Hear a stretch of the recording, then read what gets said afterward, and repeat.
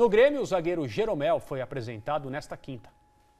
Eu estou muito feliz, eu creio que é uma oportunidade que eu estou tendo de demonstrar meu valor. Eu já jogo lá fora há 10 anos e já tenho um certo nome, status e tudo isso, e venho aqui para mostrar também que tenho esse valor e vou fazer tudo possível para ajudar o Grêmio a conseguir títulos. Eu tive a oportunidade de jogar em grandes campeonatos na Europa, aprendi muita coisa, a experiência que eu tenho eu vou trazer para o grupo, eu venho para somar, para ajudar, para tudo que eu aprendi, técnica, taticamente, para pôr em prol do Grêmio.